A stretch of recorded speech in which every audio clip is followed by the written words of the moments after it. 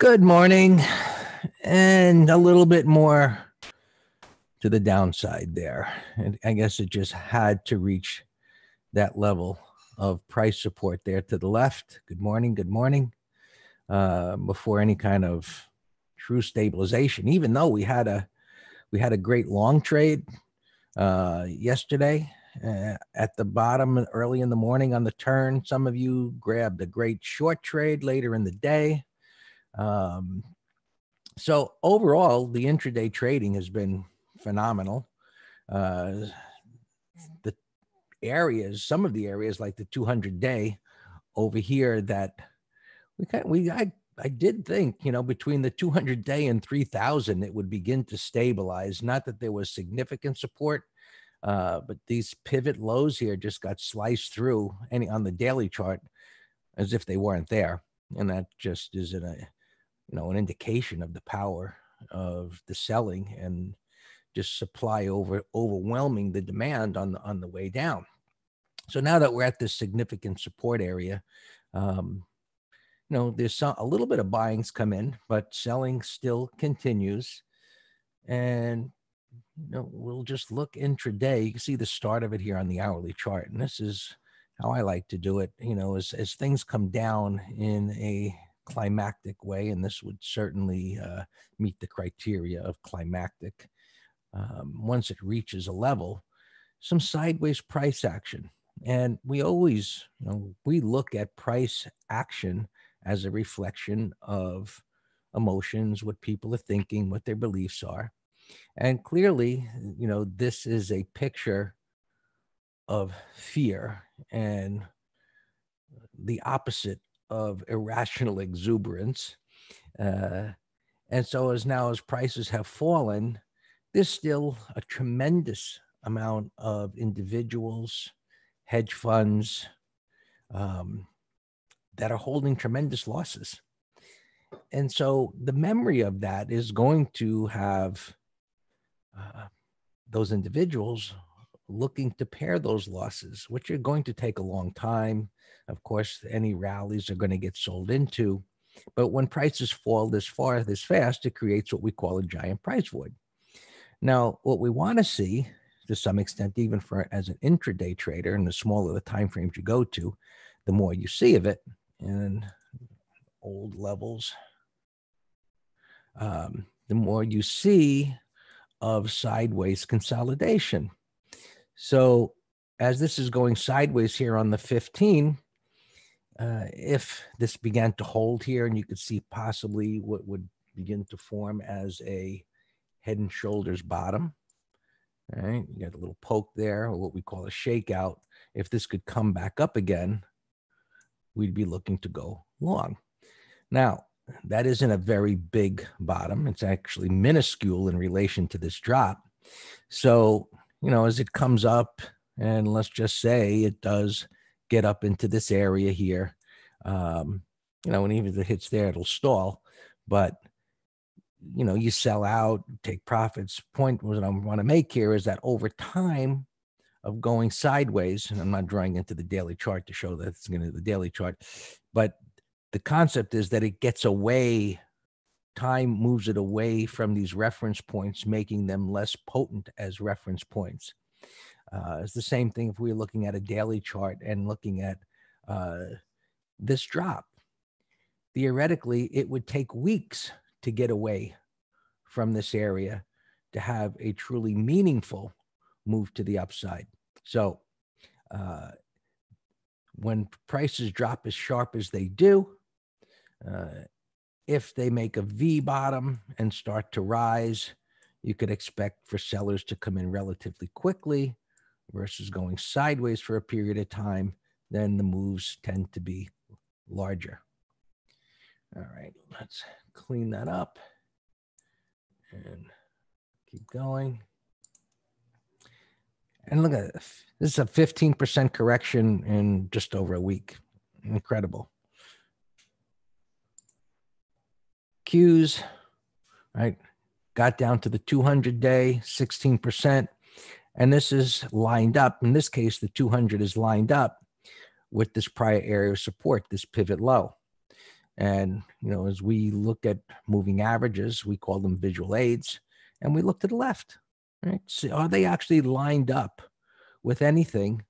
Or, you know, is it a situation more like this that if you look to the left, it's really not lined up with anything of any significance? And so at that time, was okay, it's a subjective reference point, but institutions are looking at it uh, and they'll react to it. And they did intraday. But in this case, the lesson is there's nothing to the left because of the, the speed of the advance at this time. Whereas the Qs, it aligns perfectly with this area of price support where it went sideways for, well, I guess a few weeks before it, it rallied there. Right the Dow just sliced through. I mean, but well, these are about the same percentage in correction. Um, now the the Qs, you know, they were showing relative strength, so they didn't have as severe a drop through uh, other support levels. But the Dow last night, this is from overnight trading, uh, down about 16% into this area of support down here. And you know, as this was going up, while we pointed out the fact that sentiment was when I called it that time nosebleed territory and uh, you know ringing the danger sign with breadth deteriorating. I can tell you it did not suggest such a downside violent move in such a short period of time. Historically, yes, corrections happen, you know this and, and my theory you know everybody's talking about this virus and uh, one of the things i said yesterday was you'd think that they'd be shoveling dead bodies into holes and everybody be scared to death because this is dropping like everybody is scared to death. Yet you know we hear the president and not that i'm saying politicians are what you should base your uh, factual information on but you know, he's saying, oh, there's 12 people in the country that have been affected, and one is kind of really sick. The others are going home. And meanwhile, the stock market's crashing. Um, you know, over in China, where this all, all started, um, like I said, are they shoveling people into holes? And I'm, I'm saying that because of watching on Netflix this thing about pandemic and what happened 100 years ago. They're, you know, pushing bodies into in, into a hole. Now, I don't think they would be doing that today, but nonetheless, we would be seeing people dying right in front of us with uh, this kind of a, a, severe drop. And now these internals are extremely cooked here, uh, which have reached bullish levels. I know that said, it's going to take time to repair some of this damage before uh, we get any kind of meaningful move. And we may not see these old highs even in 2020 because of the way this came down again. So we'll see. It's going to take time to rebuild here, but the point of looking at the internals is to say historically, these internals have reached such an extreme that the downside at this time is limited. Not to say this is ultimately the low. It would make sense that this is a good low area since it's at a significant area of support. Um, but internals give us guides. Now, you can see this level here, how it was tested all of last year. The real danger here is we do start seeing dead people all over, and this thing gets really nasty because there's a void below here. There's nothing to stop it. So I'm not I'm not predicting that or suggesting that. I'm just pointing out the fact that there is no support below this level. So internals wise, uh, just looking to the left of support wise, the extreme drop that's occurred here, institutions, if institutions don't start stepping up here, um, wow, that's all, you know, this whole thing was a wow, but um, we'll see what how, how this all unfolds today. So far, as you can see, it's just trying to base out here. So we'll see what happens at the open. Uh, Russell, same story, collapse right down to this area of significant support. Uh, and you see this was underperforming some of the others, and it fell real hard. But again, down about right, almost 15%. There we go. Um, at this major support point. And you can see all the support that's over there. Uh, oil,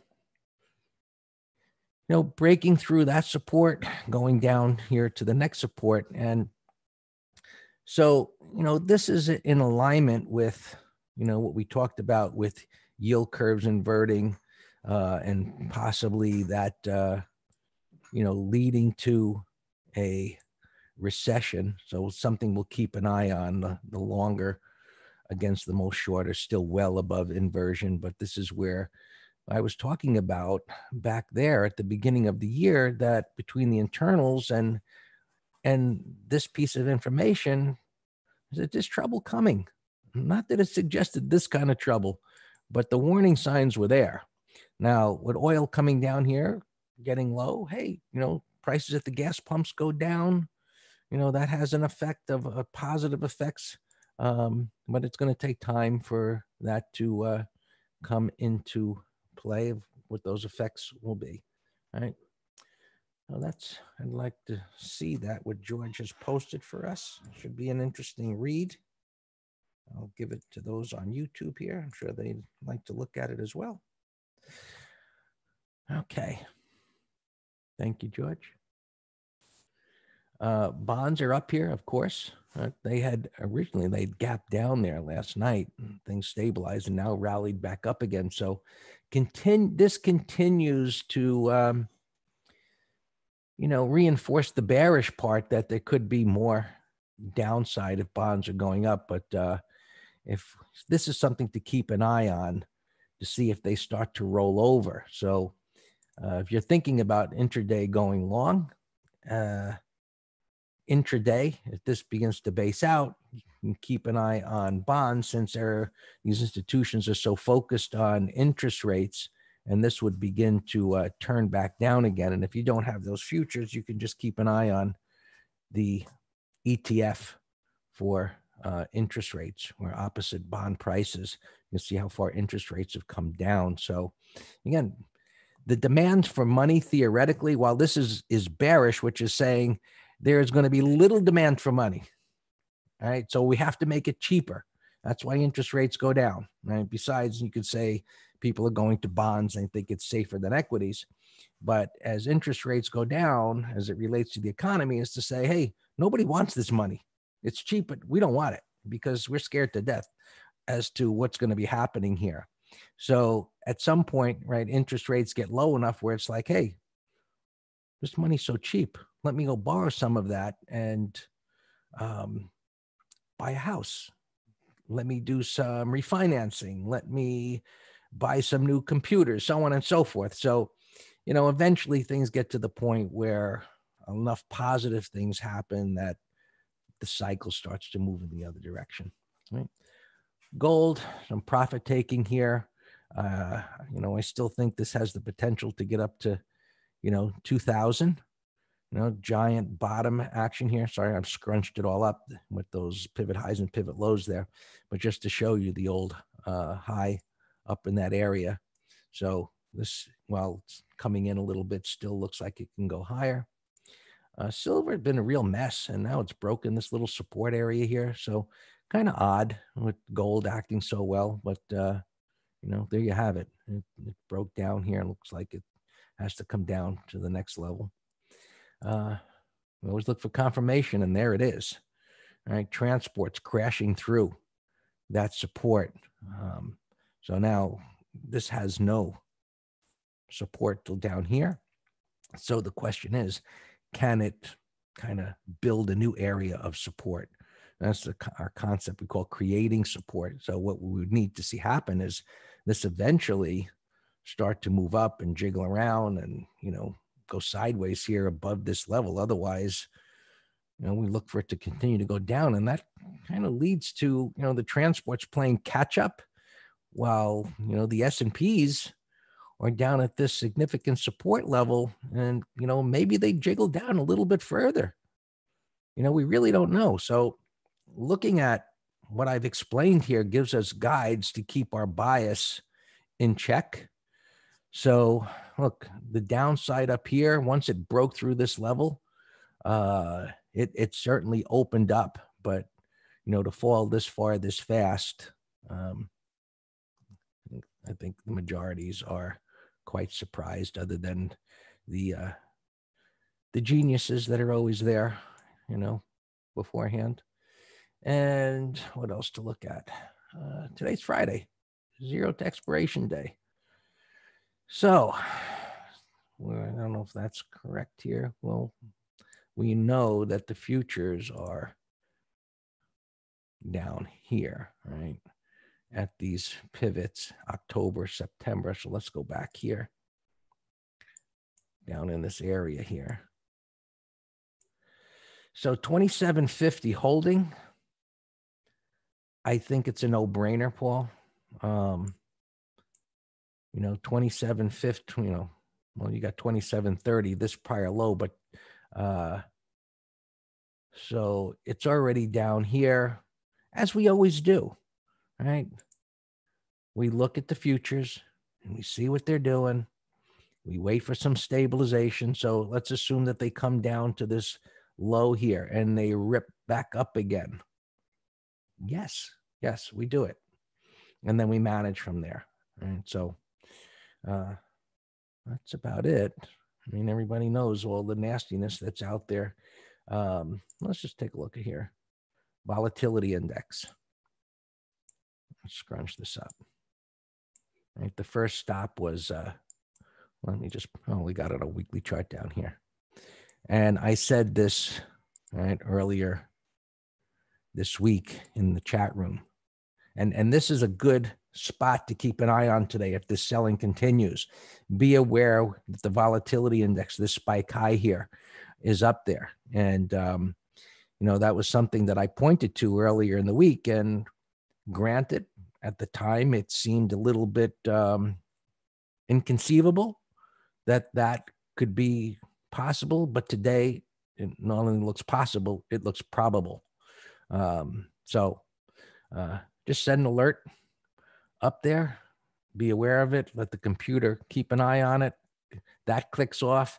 Maybe the NYSE tick is at a minus 1200 or 1500. The put call ratio, right? These guys are buying puts now, you know, just the way they were buying calls at the high.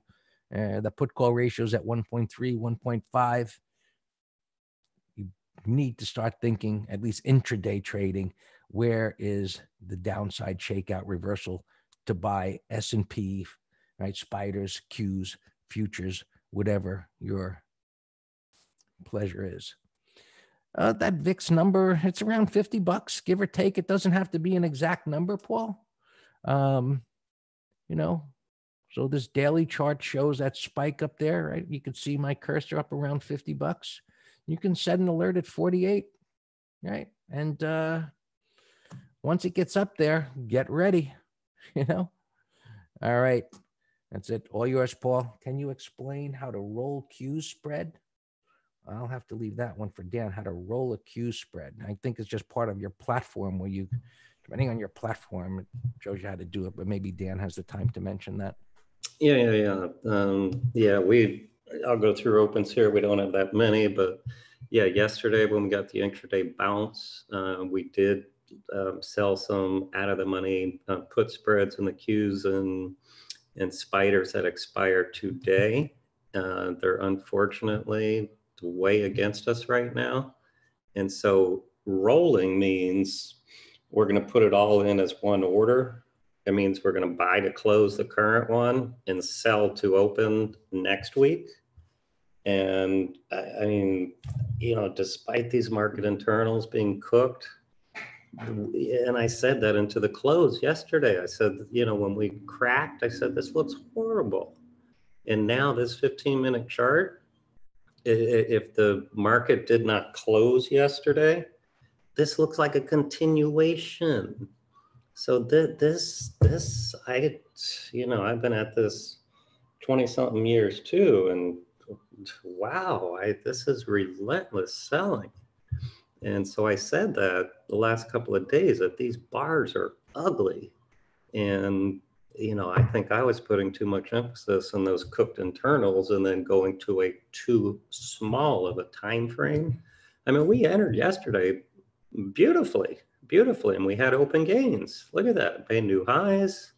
And uh, you know, I thought they were so far out of the money. And look at that from the high is 310. This is crazy. 22 point drop in a couple hours. Um, so anyway, yeah, well, we'll actually, I'll give you a, um, a screenshot later. I'm doing nothing now though in terms of uh, rolling. Definitely want to just relax right now. Uh, see if we can get better prices, um, you know, a bounce. So we have spiders and Qs that we'll have to. Um, uh, David. Uh, and I, Dan, just started to interrupt, but I, in all the time we've been doing this, personally, and you're the option expert, but I think this is one time where rolling makes sense. Yeah, yeah, yeah. That was the instruction um, yesterday. I said we're not going to have a stop. We're going to roll because I thought, you know, whether the bottom was yesterday, and I told myself, all right, even if the low, you know, we'll make another low. But they, were, Greg, I sold these things like ten dollars out of the money yesterday. It was crazy. I know it was crazy. I, I mean, I mean, 15. it's like you know, lightning hitting twice. It, you know, it, it reminded me of the book when genius fails and they really went beyond you know the extremes and got killed on it like lightning hit four times it's an awesome book when genius fails by lowenstein and it's about the, the theoretical of a situation like this of where things have reached such an extreme that it's even a better trade and they added and it's even a better trade and they added and you know it just never stopped and that was where the fed came in and it's a great story. no, I, I, you're right. I do feel like that. Uh, yeah, I hear you. But yeah, so that was that was our intent to roll. I'm in them too. I'm in. I'm, I'm in these things I gave. I'm in pain. Um, but I just gotta deal with it and you know using our method of objectivity. But I'll I'll I'll walk you all through it. I'm not going to leave anyone stranded. Don't worry. All right, so we have that. Uh, we have the Qs. We were short the, um, uh, let me see on the cues.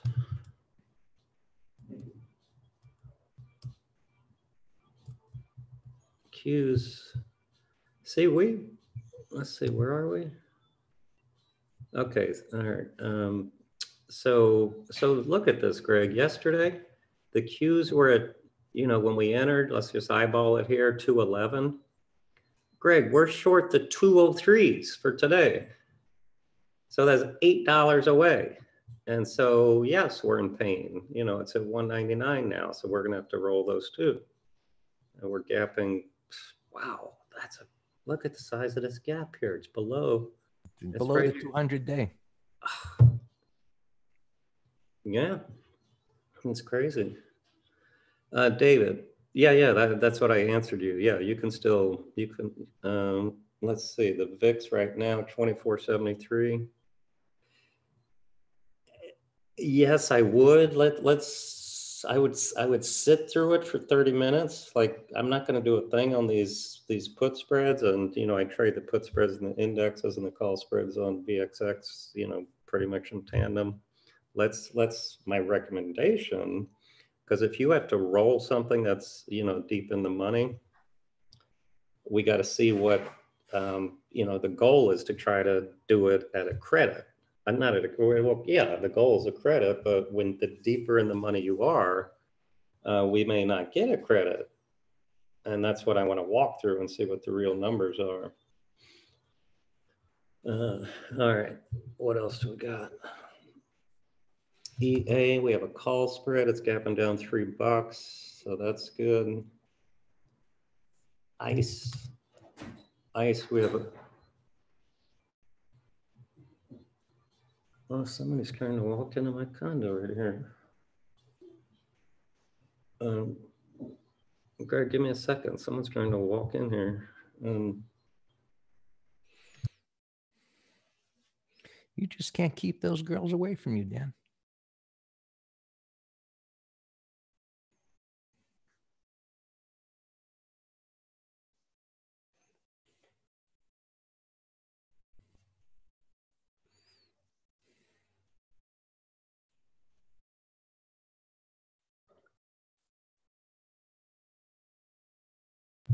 Wow, that was weird. No, I might have to get my three fifty-seven out. Um, all right, ICE had an ugly close yesterday, but it, it didn't hit the stop, so we'll use thirty minute low for that.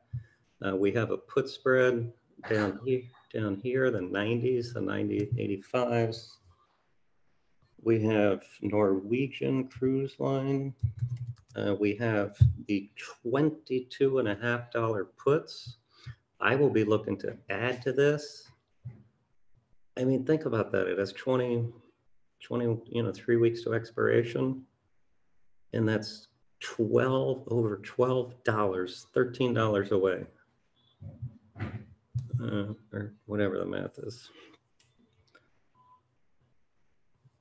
And that's it. We don't we don't have many opens. That's just these two um, put spreads are our biggest problems. INGN I have posted as a long, and that looks that's still it's holding up great. That's that's a one two three. Um, and that's it. All right, let's go to uh, gappers now. Or if you all have any other questions on anything. Zoom, uh, we had a put spread over here. Some of you are still in it. Uh, it looks it looks amazing, but no no new setup. Yeah, TTD I saw. That's that that's a beautiful 15 minute chart.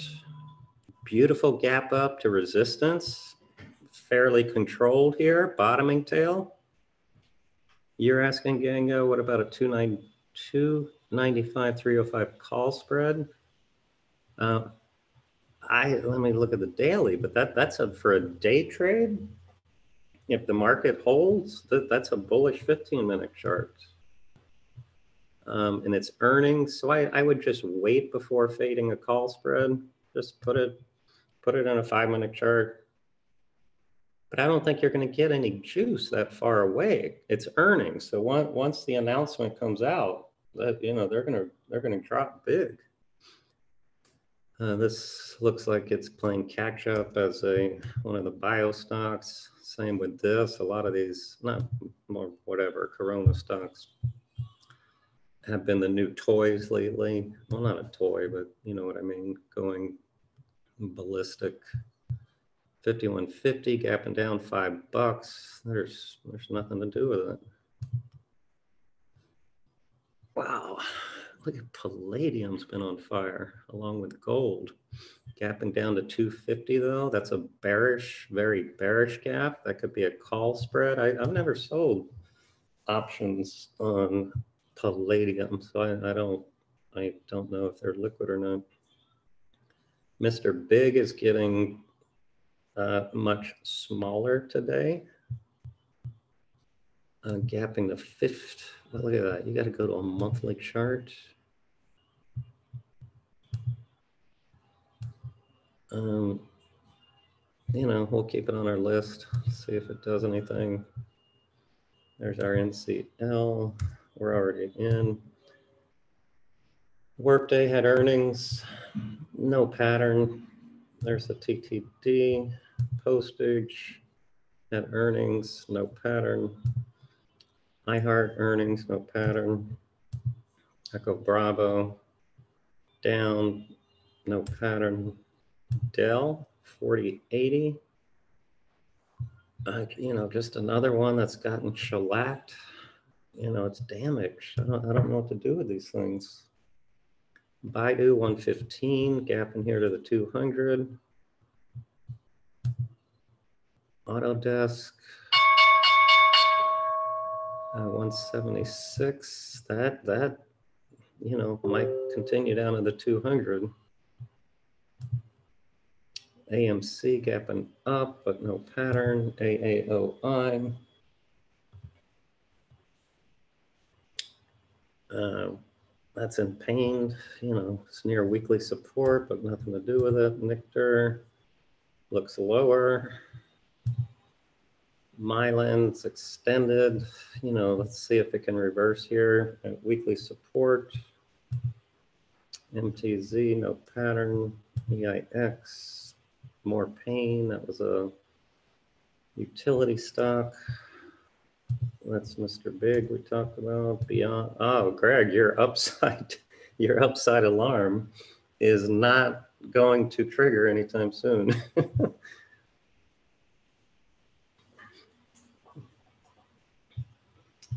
Uh, That's a nasty gap. Alex, TS. I'm long ES, but ready to kill it at any moment. Yeah, no, I, I, I saw the pop there. Yeah, it's, you know, pre-market climactic. Let's go to a two minute. Yeah, let, I mean, this is, these are rare events, folks. So let's, um, let's, let's, let's focus on it instead of, you know, looking at all these gappers that I'm sure are garbage.